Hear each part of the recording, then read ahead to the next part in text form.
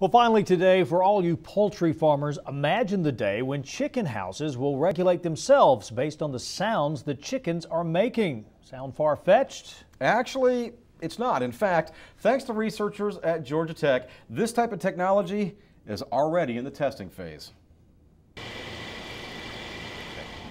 Chicken speech is very different from human speech. In fact, we found right off that extracting certain characteristics of the chicken sounds in the same way that we extracted information about speech didn't yield very useful information.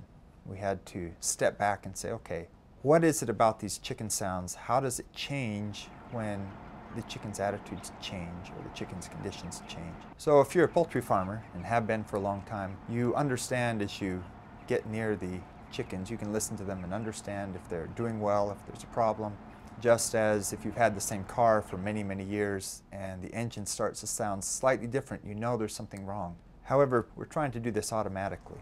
So we're trying to use the sound of the chickens that we recorded over in Athens to determine a little bit about what's going on with the bird.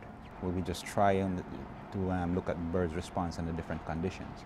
So for example, we might move the temperature levels above acceptable limits for a little bit, record that sound, we might increase the ammonia levels, record that sound, and uh, bring that data back, and then try to extract the features that were significant in those while we were conducting those experiments. To think about a problem, we might be like Dr. Dolittle who could speak to the animals. And so if you can envision the same thing, the animals will try to tell us a little bit about what's happening with them and how we might try to address it. Research in the past has shown that from some of these vocalizations you can tell that um, the birds are under stress or different conditions are negatively affecting them.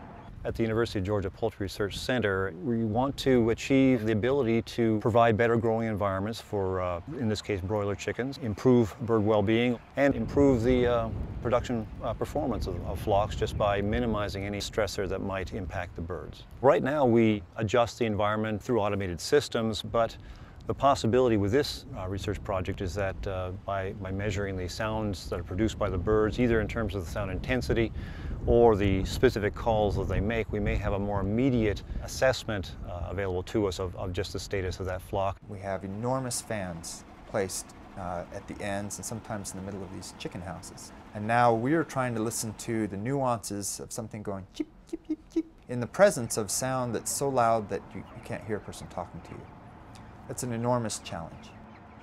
We feel that we'll be able to generate something that will be useful. We hope within another year, a couple of years, we'll actually have a device, you know, maybe no bigger than a, a cell phone or something, that will be now part of a regular control system that's able to provide a little bit more intelligent feedback as to the, the, the, status of the birds and their conditions in regard to animal welfare and feed that back into the control mechanism that you know maintains their environment.